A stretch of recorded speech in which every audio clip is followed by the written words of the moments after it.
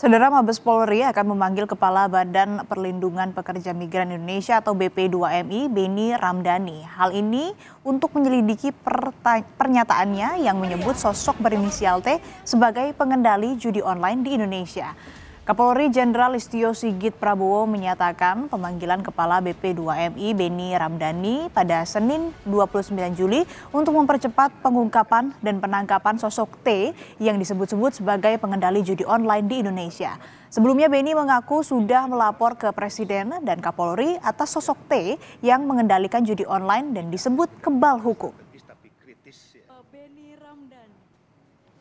Supaya lebih jelas, dan membantu mempercepat penangkapan kita, Bapak Beni Ramdhani uh, kita minta untuk hadir. Dan saya kira Kabar Reskrim sudah membuat surat panggilan. Sehingga uh, kita harapkan beliau bisa menjadi saksi yang bisa membantu melakukan percepatan terkait dengan pengungkapan judi online yang beliau maksud.